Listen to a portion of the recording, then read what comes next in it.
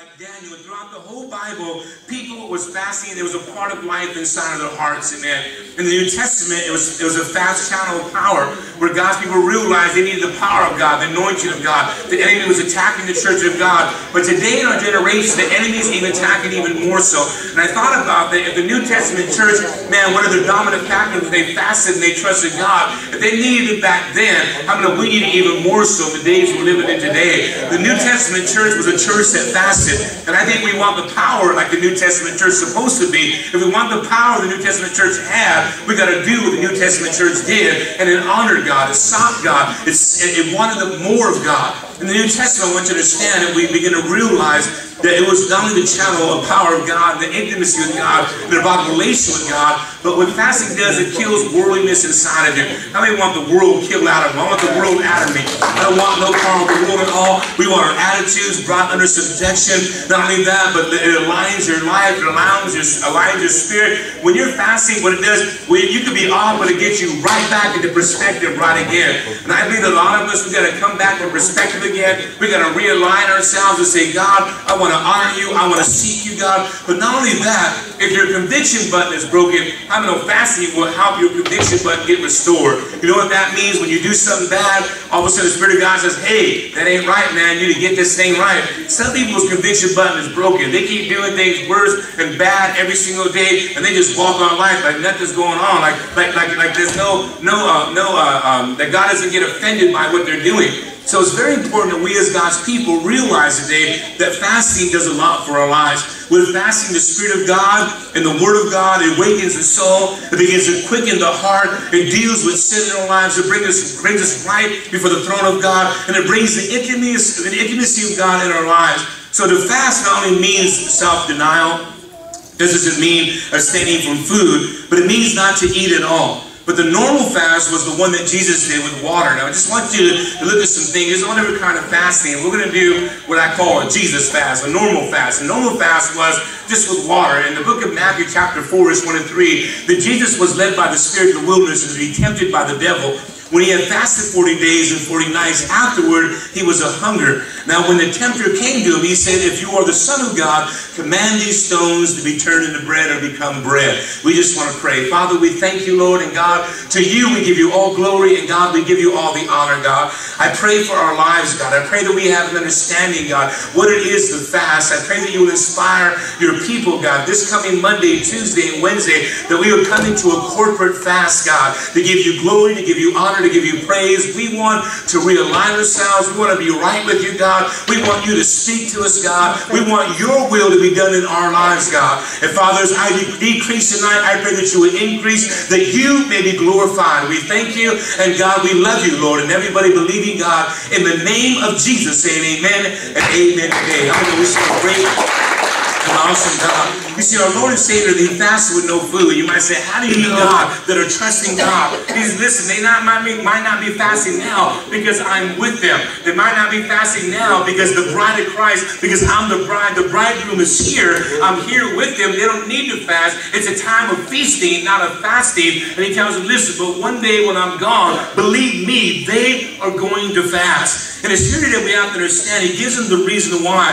They're not going to fast while they're with the bridegroom. They're not going to fast while Christ is there because Christ is pouring in them. Just like I tell people, one day you won't need the Word of God one day. When you get to heaven, you won't need the Word of God. You'll be talking to the Word of God face to face. One day you don't need to go to prayer no more. You can talk to God face to face because the Bible says that we'll be with God. So it's very important that Jesus brings out to John's disciples, to John the Baptist's disciples, is listen, one day we're going to fast. And we're living in that day today. It's a new day. It's a day that you you and I have to understand that you and I need to be a people that are fasting for the, for the Lord. That you and I are a people that are getting literally the power of God inside of our lives. See, Jesus, when you understand it, was not only speaking, but he was speaking prophetically. He was saying, listen to me, they are going to fast. When I'm gone, when I when I die, when I when I when I resurrect, they're going to be fasting. And you guys, we live in a generation today that we need the power of God. We live in a generation today where our culture is trying to shape us and mold us to do what it's called to do when our God God tells us to stand on His side and follow His ways. In order to do that, we have to be a fasting people in our lives. You see, throughout the Word of God, people fasted. Some people fasted three days, some people fasted 40 days. But throughout the Word of God, you're reading in Ezra 10 6. Then Ezra rose up before the house of God and went to the chamber of, of Johan, the son of Eliashib. And when he came thither, he did eat no bread, nor drink no water, for he mourned because of the transgressions of them that had been carried away. And that whatsoever would not come within three days, according to the counsel of the princes and the elders, all the subjects should be fortified, and him himself separate from the congregation of those that had been carried away. What you begin to see is that they fasted for three days, like we're going to fast for three days. I'm not saying that you got to fast uh, 40 days or 60 days, but we're going to do a three-day fast. And you see a three-day fast throughout the Word of God. So it's biblical. It's not something weird at all. We know Paul the apostle fasted for three days, and he was three days without sight,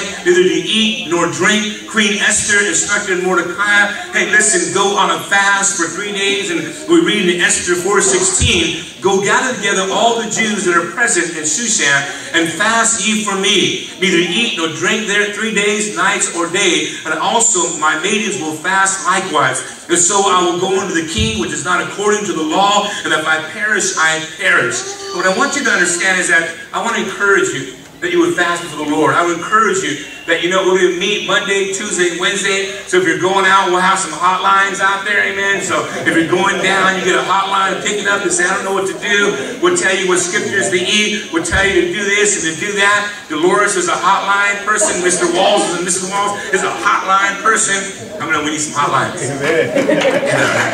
See, what I, what, I, what I want us to think, there's a wrong way of fasting, though.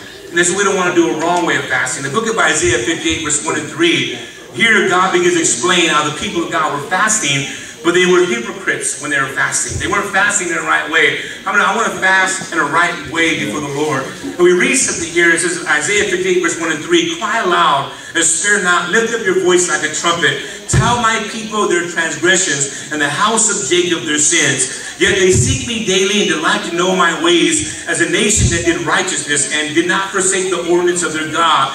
They ask of me the ordinance of justice. They take delight in approaching God. Why have we fasted, they say, and you have not seen? Why have we afflicted our souls, and you have not taken notice? In fact, in the day of your fast, you find pleasure and exploit all of your labors. And here today, God's showing us the way what God's people were doing. They were fasting in a wrong way. As they were fasting in a wrong way, God explains to them, you guys are a bunch of hypocrites. That's why I'm not going to answer your, your fast. I'm not going to even acknowledge your fast. You can fast all you want, and I'm not in it at all. And that's a sad thing if we fast and God ain't in it at all. Let me tell you why he wasn't in their fast. Let me tell you what, what's going on in Isaiah 58. God begins explaining to them they were fasting. They were literally in worship. They were in church. As I was talking last Sunday, they were in the house of God. They were worshiping, but their hearts were far from God. They were in the house of God. They were here, but they were not listening to the voice of God at all. They were not literally letting God transform their lives. I want you to know that God desires, as God's people, and as this theme of our month this month is to say, God, I I want you to change me. I want transformation. Understand that when a person gets saved, when a person gets born again, it's impossible to stay the same way. When a person is truly born again and saved by the power of the blood of Jesus Christ, that life is transformed. That life you can see. That life no longer wants to live the same, talk the same, walk the same. That life wants to honor God. And the things that are out of line with God are the things that man and that woman say, listen, I'm going to get them right before God. I'm not going to dishonor God. I'm not going to come against God. And that's what God is saying. Because you guys are a bunch of hypocrites. You're not changing your life at all. You're, you're coming into service. You're worshiping me. So you think, but I don't notice it at all because your lives don't match up with your lifestyle.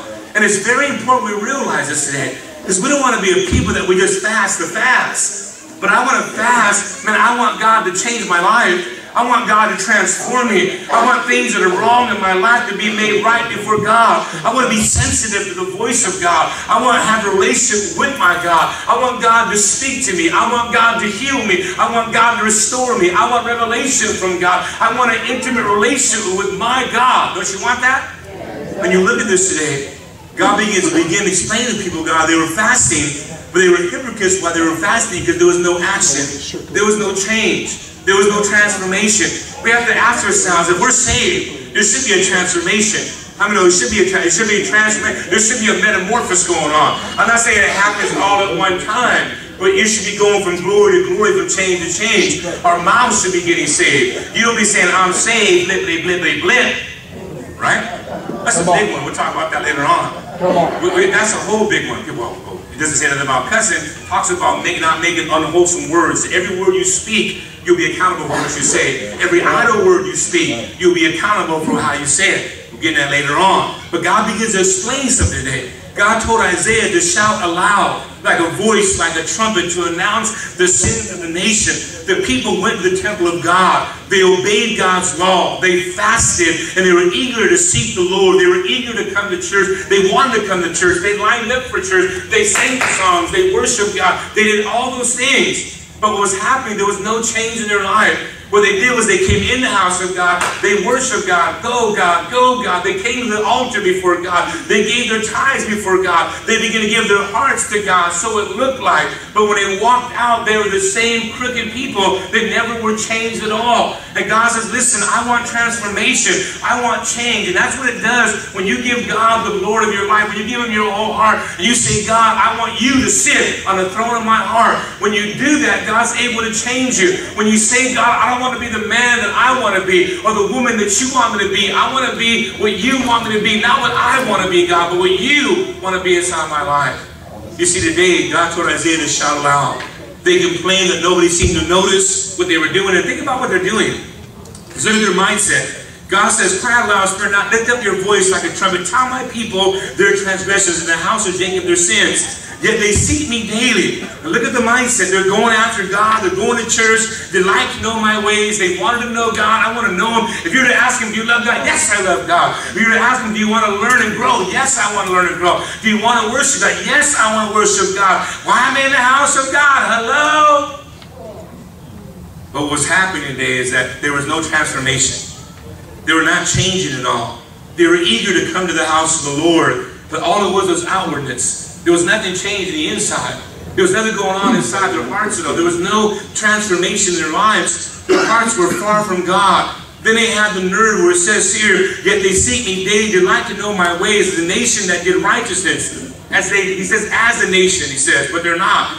And, and did not forsake the ordinance of their God. They ask me of ordinance of justice. They take delight in approaching God. That means they said, man, I want to honor God. Man, they, they shouted out on the rooftops. They began to tell, man, God is real. If you were to ask him, is God, man, God is real, he's real.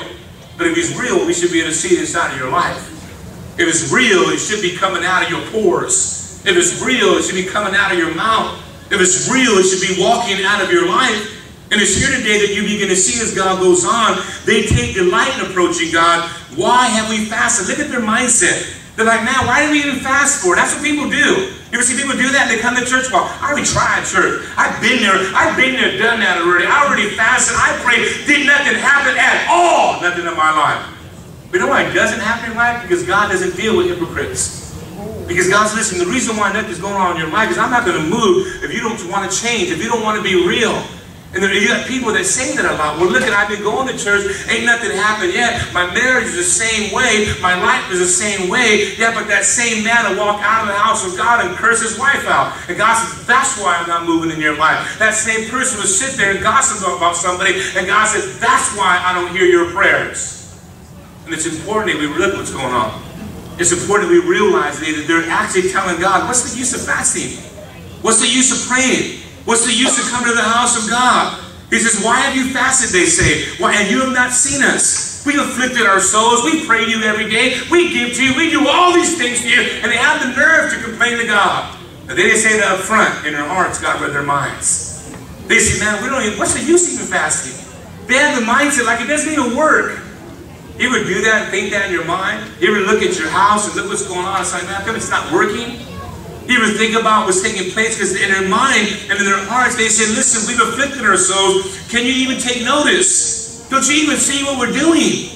But look what he says, in fact, in the day of your fast, you find pleasure and exploit all your laborers. He said, even while you're fasting, you continue to sin. You continue to do what you want to do. You continue to live the way you want to live. That's not how I roll. See, they complain that nobody seemed to notice them. Worshiping God involves more than just observing an outward ritual. Worship comes from inside. Worship comes from inside. It comes outside. And that's what worship does. And one man said, if my religious duties and I am doing what pleases me, and if doing it does not make me a better person, then I am wasting my time and my worship is only sin. If you're coming to church and you're not getting transformed into Christ, let me tell you something, it is wrong.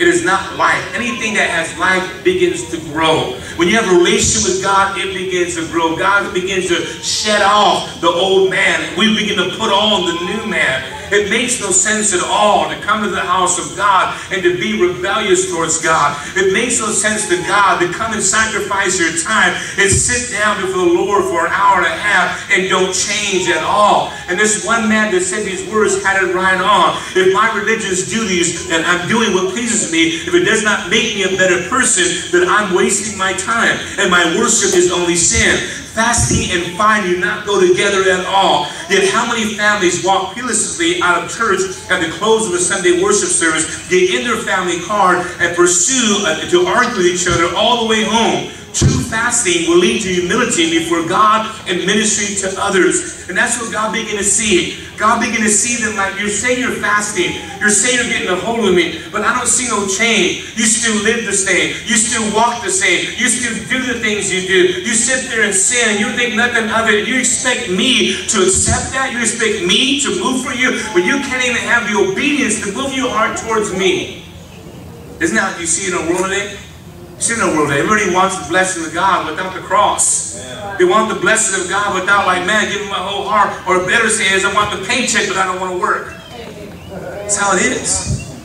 And God begins explaining them why he wasn't accepting their fast. Look what it says here in verse 4 and 5. Indeed, you fast for strife and debate, to strike with the fists of wickedness. These guys are fighting with people. These guys are duking it out with their brothers and sisters. Because you guys are fighting, you're arguing, you don't get along with people, and you, you want me to bless you? You want me to help you? I hope we ain't got no issues in here. Because if you do, God ain't gonna bless you. You to be going in circles your whole life until you get it one day. And this you have to understand, they were fighting with one another, they were fight, fist fighting one another. This is, he says, you will not fast as you do this day to make your voice heard on high. He was saying, you can fast all you want. I don't hear nothing you're saying. You're just doing it for nothing because I'm not involved in it at all. He's on to say, he goes, he says these words, it is a fast that I have chosen, a day for a man to afflict his soul. It is to bow down and stand like a bulrush, to spread out the sackcloth and ashes. Will you call this a fast as an acceptable day to the Lord? He tells him, man, you don't know what a fast is. A fast is humility. A fast is like, man, God, whatever you want to do, do in my life. Whatever you want to break, break it out. Whatever you want to shape, shape it out. Whatever you want to do, do it, God, in my life. That's what fasting is is coming before God and saying, man, God, you're right, I'm wrong. Whatever you want to do, you do in my life.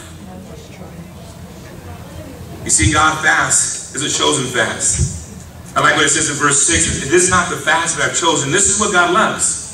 A real that we see what a, a fast that ain't what God does. This is what a fast does when it's with God. And this is what God says here. This is what we want, the kind of fast. Is this not the fast that I've chosen, says God? To loose the bonds of wickedness. How many know I not that loose? I want the devil off my back. I want the bonds of wickedness off me. Freedom in God. To undo the heavy burdens, to let the oppressed go free, and that you break every yoke. How many of us have yokes in here? Where you're sitting here, you're still bombarded all day long, depression and oppression and all these things that are going on. God says the kind of fast that I want, the kind of fast that I choose will set you free. It will break every yoke out of your body. It will lift the heavy burdens off of you. It will make you be free. It will break everything out of your life. Look what it says. Is it not to share your bread with the hunger, hungry, that you bring to your house the poor and who are cast out? You see the naked, that you cover them and not hide yourself from your own flesh? He's telling them that it should be a lifestyle. A real fast begins to bring a life of Christ inside of you. A real fast says, man, I don't want to talk that way no more. I don't want to live that way no more. I don't want to act that way no more. I want to honor God and God. Whatever's going to dishonor you, I don't want any more inside of my life. That's a problem, but that's what real, true, biblical fasting does. So I thought about it, it might be kind of crazy when you read on it. Wow, that's a lot of stuff right there. So I want to break it down to you in the message Bible, just so you get a little clearer understanding. It says here, and I'm going to read message Bible, I'm going to read a shout, a full-throated shout. Hold nothing back, a trumpet blast shout. Tell my people what's wrong with their lives. Face my family Jacob with their sins. They're busy, busy, busy at worship and love studying all about me. To all appearances, they're a nation of right living people, law abiding, God honoring. They ask me, what's the right thing to do? And love had to be on their side. That's what people like. I want you on my side. Look what it says here. But they also complain. Why do we fast and you don't look our way? Why do we humble ourselves and you don't even notice? Well, here's why. The bottom line on your fast days is a profit. You drive your employees much too hard. You fast, but at the same time you bicker and you fight. You fast, but you swing a mean fist. The kind of fast you don't, you do, won't get your prayers off the ground. Verse 5 it reads, Do you think this is the kind of fast day I'm after? A day to show off humility, to put on a pious long face and parade around solemnly in black? Do you call that fasting a fast day that I, God, would like? This is kind of fast day I'm after. To break the chains of injustice, to get rid of exploitation in the workplace, to free the oppressed and cancel the debts. I'm interested in seeing you do, sharing your food with the hungry, inviting the homeless poor into your homes, putting clothes on the shivering ill-clad, being available to your own families. Do this and the lights will turn on and your lives will turn around at once. Your righteousness will pave your way. The God of glory will secure your passage. Then they will pray to God, and God will answer you. Call out for help, and I will say, Here I am. A full life and emptiness of places. If you get rid of the unfair practices, quit blaming victims, quit gossiping about other people's sin. If you're generous with the hungry and start giving yourselves a down and out, your lives will begin to glow in the darkness. Your shadow lives will be bathed in sunlight. I will always show you where to go. I will give you a full life in the emptiness of places, firm muscles and strong bones. You'll be like the well-watered garden, a gurgling spring that never runs dry. Goes on to say, you'll use the old rubble of past lives to build a new. Rebuild the foundations from out of your past. You'll be known as those who can fix anything, restore old ruins, rebuild and renovate, make the community a livable again. And all this to say this today, you guys, that God desires that we change. God desires, we say, man, God, here I am. You know? These people, they paraded themselves, calling themselves the, the, the, the, sons of Jacob. They, they proud themselves, calling themselves the people of God. They proud themselves like, man, we're, we're Christians. We're soldiers of God. We love God all of our hearts. It was crazy about the whole thing. God says, guess what? I'm not in nothing you're doing at all. And that's one of the saddest things to do is to come to the house of God and God says, you know what? You should have stayed home because I don't hear nothing you do. Sounds crazy. But think about how crazy it sounds to God when we come here to say, like these people were, but they weren't real with God. They weren't letting God change them at all. That's what was taking place. Are you saying I'm doing that? No. But I'm saying this is kind of fast that God doesn't like and the kind of fast that God loves is when his people really want to fast because, but I want to do what's right. And if you're really a born-again Christian that is really serving God with all your heart, you don't got to say nothing to nobody. People look at you and say, I can tell that you've been with Jesus. I can tell by your walk. I can tell by the way you live your life. I can tell by your conduct. I can tell by the way you do things and how you live your life, how you're an example. I can tell. And that's what God's looking at, you guys. God's looking at the people and he says, man, I, don't see no transformation. And I believe that we're living in these days, just like in Isaiah. We're living in these days where so many people, man, they come to church, but you don't see no transformation. You see them, it's like, what's the difference between you and the world? It's the same thing. Not supposed to be the same like the world. Where everybody else do, not God. Not his people at all. And you look at this day, it's very, very important that God is saying, listen, I want to bless you. And I want to help you. I want to restore you. But I can't until you get real with me. I can't until you want transformation in your life. You know, as I was saying last week, I didn't come to church to go to hell. But I think a lot of people, they come to church and they don't realize they're going to hell. They don't realize like, man, you come to church and, man, you're going to end up in hell one day because you don't, you just think coming to church don't make you a Christian. It's coming to church and saying, man, God, take my life. Man, God, I want to do what you want me to do. And I don't want to be the same person no more. I got in this mess because of what I am today. And I want to be what you made me to be, God. And that's the thing that we have to understand when you look what's taking place in Isaiah's day. They were doing their own thing. They had mean worship going on. They were out there telling people, man, come out to church. They were out there, and, and, and you look at it from Sunday service to this service, God's talking about his people. There ain't any people, there's his people. That's the crazy thing. God is saying it has to go further than just you coming, but is there transformation? And that's what you have to look at your life. Look at your life and say, man, am I changing? Man, am I becoming more like Christ? Am I becoming more like Jesus or more like the devil? Am I becoming more Christ-like or am I going backwards in my life? What am I doing with my life? I say all that to say this, that God wants us to change. God wants us to come to Him and say, God, whatever you want to do. Does that mean you got to fake it to make it? No. It just means that in the stillness of the, in the silence of your heart, you say, God, you know what? I want you to do whatever you want to do in my life. Is it going to mean probably I'm going to change some friends? Yeah. Does it mean I'm going to have to break up with somebody? Yeah. Does it mean I'm going to have to do something different in my life? Yes. Is it going to hurt? Yes. I have to break some habits? Yes. You're going to help me break those habits, so God. Is, is it going to take me, man? It cost me something? Of course it is. But I'd rather be at peace with God than be in war with God. I'd rather be at peace. I say all that to say this, you guys. I remember telling a guy a while back, and it's so real.